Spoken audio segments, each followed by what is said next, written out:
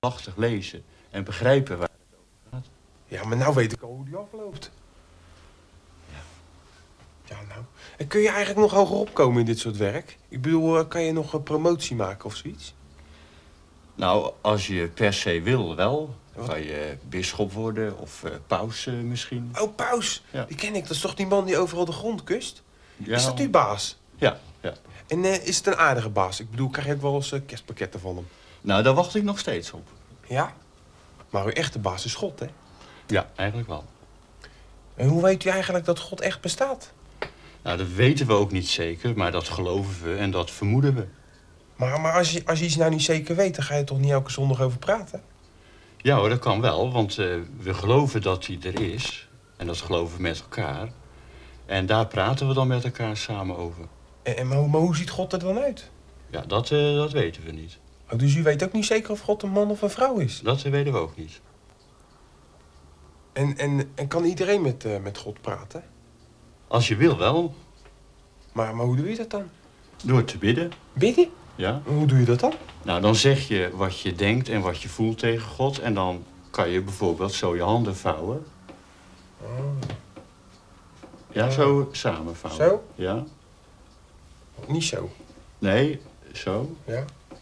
En dan zeg je wat je voelt van binnen en wat je denkt. En dat zeg je dan tegen God. Ja, ja. Je begrijpt er geen hout van. Jawel. Moet ik dan hardop zeggen? Kan. Maar je kan het ook zachtjes zeggen. Zeg je nou echt wat je denkt en wat je voelt? Nee. Ja, dan is het geen widden. nee. Zie ik er goed uit zo? Zie ik eruit als een eh, echte pastoor? Schattig zie je eruit, maar niet als pastoor en zeker niet voor in de kerk. Oh. Nou. Maar ik heb ook nog een, eh, een baby meegenomen. Die wil eh, gedoopt worden. Zou je dat kunnen voordoen? Nou, kom maar, zal eens laten zien hoe dat, eh, hoe dat gaat. Met water. Ja. Dus dan giet ik eerst wat Is water. dat gewoon water? Dat is gewoon, gewoon water. Oh. Geen, geen heilig water of zo? Nee, gewoon water uit de kraan. Oh. Dan giet ik dan hier erin. Ja. En dan? Nou, en dan, als jij dan de baby er even bij houdt, Ja. dan giet ik zo dat water over het hoofdje van die baby. Oh ja. En waar is dat dan goed voor? Nou, we zijn blij dat het kind geboren is. En we hopen dat het nog heel lang zal leven en heel gelukkig zal leven. Oh ja. En dat laten we zo zien. En krijgt hij dan ook zijn zwemdiploma mee als het afgelopen is? Ja, maar dan moeten we nog een paar jaartjes wachten en nog maar eens een keer weer terugkomen. Oh ja. Mag ik het ook eens proberen? Ja, dat is best. Gewoon water over zo. Gewoon water over zo.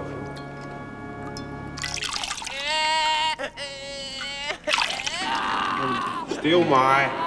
Rustig maar. Stil maar. Wat moet ik nou doen? Ja, ik kan niet zo goed tegen huilende baby's. Geef het dan maar hier. Ja. Hoe moet ik dat doen? Ga jij maar huisbezoek doen. Huisbezoek? Huisbezoek. Oké. Stil maar. Stil maar. Kom weer binnen. Hallo. Hallo, wie is dat? Ik ben de nieuwe pastoor. Oh, wat ben ik blij. Eindelijk een Pastoor. Skip. Ja. Eindelijk iemand die mij kon verlossen van mijn Oh. eenzaamheid. Ik heb acht dochters een schat van kinderen. Bijna 27 kleinkinderen. Oh. En dan klein Miekje, mijn achterkleinkind. En Oh. die zie ik nooit, Oh, nooit. zie en je. dan het ergste, mijn enige lief, dat ik poes is weg. Tony, Oh. Tony, oh, komt u dikwijls bij mij. Ja. Oh, wat erg. Ik kan mijn emoties niet verwerken. Oh. Ik kan niet tegen huilen. Oh. Zo verschrikkelijk. Komt u dikkers. Vergeet u niet te komen. Dan ga ik weer. Eindelijk hier. Dag. Dag. Oh.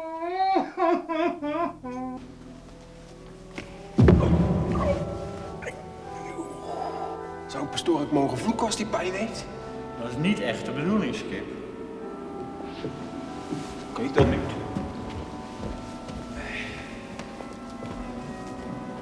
Hoe is het gegaan? Nou, eh, ging hartstikke lekker hoor. Ik heb de mensen goed geholpen. Ja, We waren wel echt blij mee. ja ze waren heel erg blij mee met de nieuwe pastoor. Maar eh, heb ik nou alles gedaan wat de pastoor moet kunnen? Nee, je moet ook nog kunnen preken. Preken? Wat is dat nou weer? Nou, dat is hier in de kerk vertellen over geloven en over God. Oh. En dat eh, kan je nu eh, hier gaan doen. Ja, maar waar moet het over gaan dan? Nou, over dingen wat je in de Bijbel gelezen hebt. Nou, ik zal het proberen.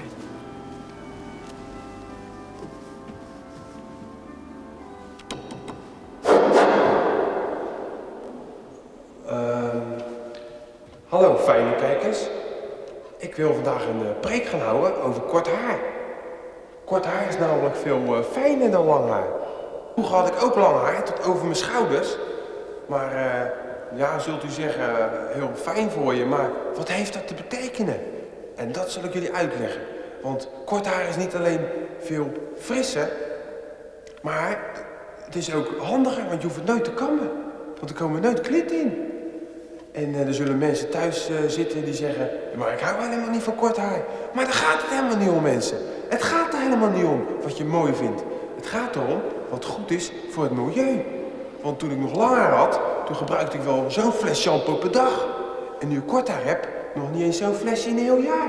En daar moeten jullie nou allemaal eens een keer over nadenken. En misschien dat we dan ooit allemaal net zo kort haar nemen als pastoor Skip. En eh, a- amen. Zo. Nou, eh, was het een goede preek? Waardeloos. Waardeloos. Heb je dat uit de Bijbel vandaan? Ja. Over shampoo en over kort haar? Ja. Lieg je niet? Nee? Volgens mij wel. Hoe weet u dat dan? Nou, als je een groot kruis op je voorhoofd. Oh. En eh, hoeveel verdien je eigenlijk eh, met eh, pastoren? Nou, niet zoveel, maar daar gaat het niet om. Het gaat erom dat je je geroepen voelt daartoe. Geroepen? Wat is dat dan, geroepen? Nou, dat is dat je het fijn vindt en dat je het leuk vindt en dat je het belangrijk vindt. Oh, ja. Nou, laat me dan maar even alleen. Dan ga ik even goed nadenken of ik me wel geroepen voel. Nou, dat lijkt me heel goed. Oké.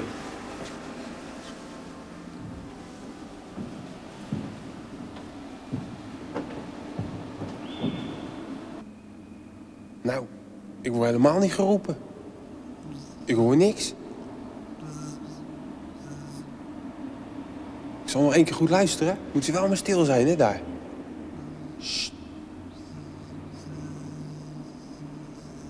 Ik hoor alleen een heel zacht zoomgeluid.